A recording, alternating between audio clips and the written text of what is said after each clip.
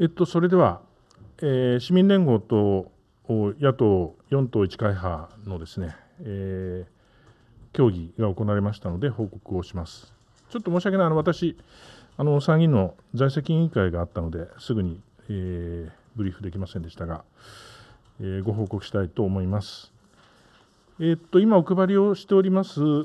市民連合が作成をした市民の生活を守り、将来世代につなげる政治への転換をというあの政策要望、基本的な共通政策項目という、そういう書きぶりになってますが、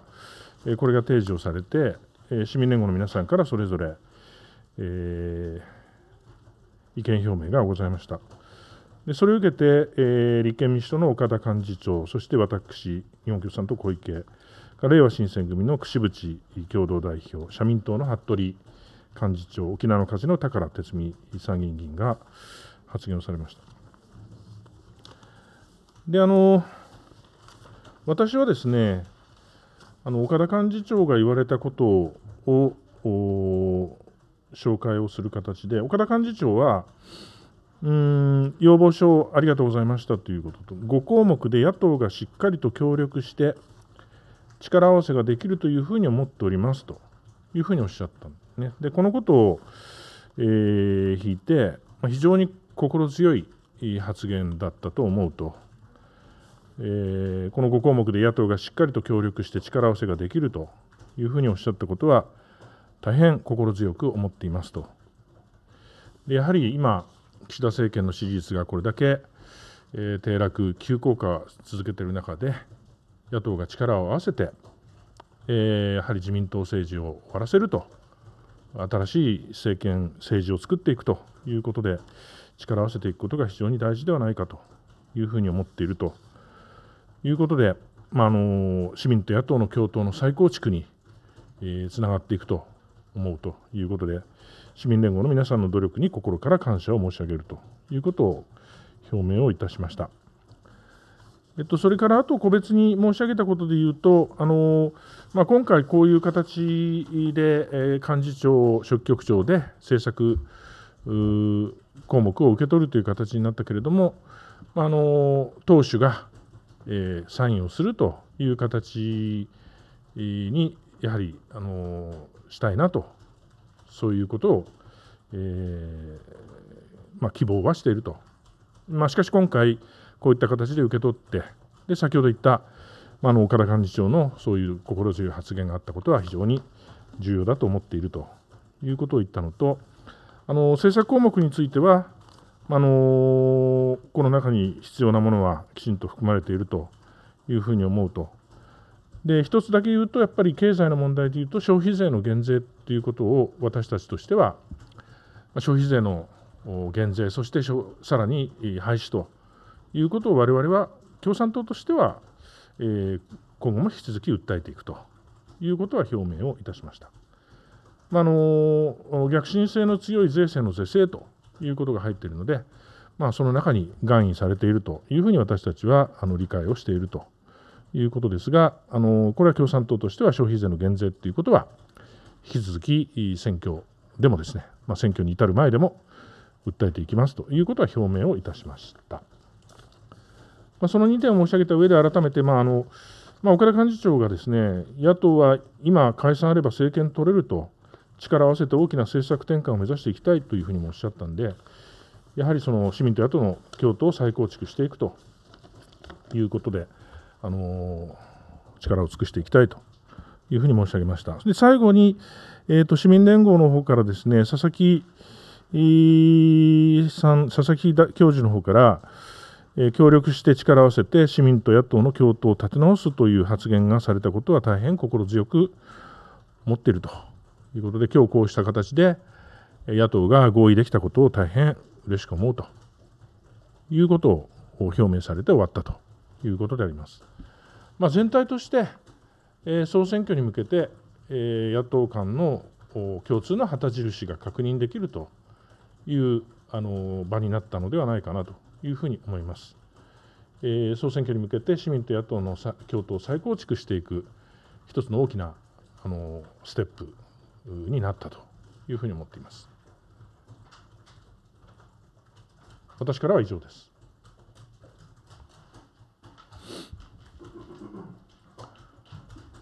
ご質問あればどうぞ。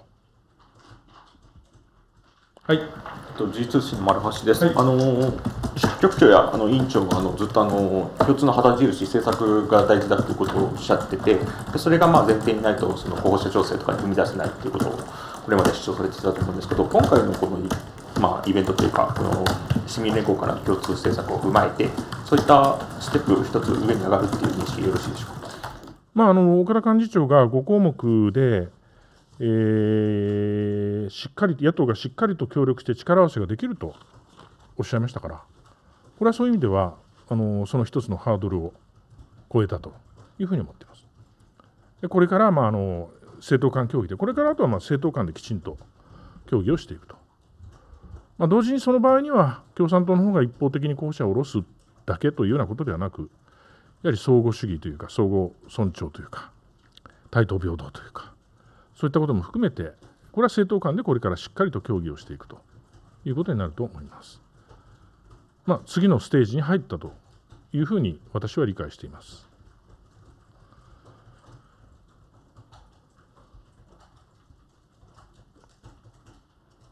はい。TBS 市田です。あの前回まではあの安保法制の廃止とか、あとあの、えー、やっぱり消費税の減税っていうのが、まあ、一番大きな旗印だったと思うんですけど、それが今回含まれていないことについて、どのようなお考えでしょうか。いや、安保法制の廃止は全文の中に、まあ、市民連合ですから、これ安保法制の廃止っていうのはもう市民連合の一丁目一番地ですから、それは市民連合としては、まあ、それを掲げ求めて戦ってきたというふうに書いてありますから。で、その後のところにも、やはりその、えー、平和外交、専守防衛の安全政策等々ですね、で特にこの専守防衛逸脱する集団的自衛権の行使を容認しないと。集団的自衛権の行使を容認しないということは、これは安保法制、えー、をその、まあ、認めないというか、安保法制廃止ということだと私は思います。まあ、きちんとこれまでの合意が入っていると。消費税については、確かに消費税という文言はありません。で、これはまああのこの間の、まあ、一致点を、まあ、重視して取り組んできた結果だと思いますが、まあ、ただあの、全体としてはやっぱり消費税の減税を求める世論が非常に高いですから、これからの議論の中で、ここは変化していけるんではないかなというふうに思っています。私たちとしてはやはり消費税の減税ということもきちんとまあ、明確な形でね旗印になるように努力は続けたいというふうに思っています。はい。朝日新聞の小林です。今あの消費減税旗印になるように努力したというふうにおっしゃったこれや野党の一つの政策として消費税減税を入れたいそういう意思というふうに受け取っています。まああの共闘というのはこれはあくまで一致点でやっていくことですから。その一致できないことはね、なかなかすぐには盛り込めないということですね。で、同時にあの消費税の減税っていうのは今、国民的にはやっぱり所得税の減税、非常に評判悪い中で、まあ、いろんな世論調査やっても消費税の減税を求める声が多数を占めています。で、ぜひやっぱり野党の共通のね、政策に消費税の減税ということが盛り込まれるように、まあ、これからも引き続き努力はしていきたいなというふうに思います。関連してですね、あのこのあのただ逆進性の強い税制っていう、まあ、直接の明言を、まあ、消費税というふうには書いてないんですが、ここはその消費税と読み取るっていうようなのは、ある程度、5党の中であの意思統一ができてるのか、まずそこまで至ってないどういうふうに私は今日の会合の中で、われわれとしては、この逆進性の強い税制の是正ということは、消費税の減税も含まれるというふうに理解しているというふうに発言はしましたが、まあ、その他の政党がどういうふうに、この問題については特に発言ありませんでしたから、そこは分かりません。まあ、あの今、各党の中で消費税の問題、議論になっているようですから、その推移をしっかり見極めていきたいなというふうに思います。もう一点、その関連なんですけど、今発言でです、ね、次のステージに入ったというような話だったかもしれないですが、今後、そのスケジュール感とかっていうのは、どういうふうにお考えでしょうか。これはちょっと分かりませんね。まあ、それはもうきちんとあの政党間で協議していくということですから、はい、あの次のステージに入ったって別にそれ確認したわけじゃなくて私の思いですから、はい、私としての表現なんで。はいただまあ、あの今まで言ってたのは共闘の意思の確認ということを言ってきた。でそれはまああのこの間の協議でクリアしてきた。で今回、まあ、こういう共通の旗印っていうことが一応立てられた。でその場で、えー、岡田幹事長が野党がしっかり協力して力合わせできるという発言もあったわけですからやはり一つステージは前に進んだんだなというふうに思います。だここから先どういうテンポで進むかっていうのはそれはもう政党間の協議ですから何とも申し上げられません。はいあの、はい、細かいことですけど、えーと、今の市民連合の方の話だと、立憲と共産で今、小選挙区で重なっているところ、大体60ぐらいあるという話でしたけど、その認識でよろしいでしょうか？うんあの明確に僕、計算したことないですけど、大体そのくらいだと思いますが、はい、じゃあ、そこを具体的に、えーまあ、立憲含めて、まあ、調整していくという理解でしいですか？まあ、あのまだそういう段階でないので、なんとも、はい、ただそういったところも課題になってくるとは思います。はい、ただ、同時にすべてを一本化するっていうことは、お互いにそういったことは考えてませんので。はいやっぱりあの力を合わせて勝利できるっていうところを中心にということは、まあ、お互いの共通の理解だと私は思っています。一本化すれば勝てるっていうところは、あのもちろん戦略的にそこはやっていく可能性はあるんだけれども、という意味で、あのまああのまあ、一本化する必要があまりないようなところについても含めて、全部、全部、すべてを一本化するっていうことはね、それはあのお互いにそういったことを確認したわけではないですけど、まあ、大体そういう思いでいるんではないかと私は思っています。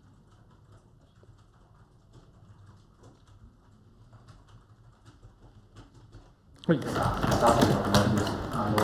ー、次の選挙でその党の躍進を最大の課題にしたと思うんで、その認識は変わらないっていう変わらないです。だからやはりその候補者の調整っていうのは議論になった場合も、やっぱり党の議席の躍進ということにとってどうなのかっていうことが一つの重要な考慮要素というか、まあ、そういったことで判断していくことになっていくと思います。だからまあ冒頭申し上げたように一方的に共産党が候補者を下ろすだけというような対応にはならないというふうに思っています。まあ、そういったことも含めて率直な政党間の協議をしていきたいなと思います。よろしいでしょうか？はい、一点すみません、ちょっと今回の件かとは別件なんですけど、えっと、政治資金問題について伺伺います。すみません。委員長会見やる？あ、ちょっと今いいですか？いいです。一言コメントだけ、ごめんなさい。えっと、今回事務総長経験のある複数の議員もキックバックを受けていたと見られており。あのまあ、事務総長は派閥の事務を取り仕切る立場で、あのやっぱり収支報告書に記載していないキックバックが組織的に行われていた可能性がどんどん明るみになっています。えっと、この回あのただあの、事務総長経験者である松野官房長官は、国会や会見で説明する姿勢を見せていないんですが、これらのあの自民党ないしはこの派閥経験者のあの説明しない態度について、あの受け止めなど、言語道断だというふうに思います。だって事務総長に報告していたっていうことも今報道されているわけですからね。でやっぱりあのこれは派閥の事務を司る仕事をしてきた者の責任としてきちんと答える